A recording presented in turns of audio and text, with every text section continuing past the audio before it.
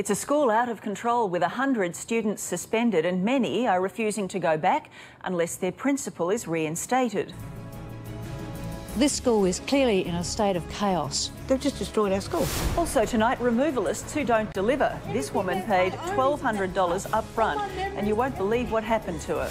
Plus, faking it at the fish shop. The crackdown on shops substituting cheap varieties and charging you top prices.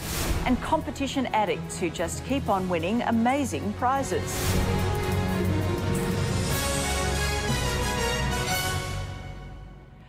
I'm Tracy Grimshaw. Welcome to A Current Affair.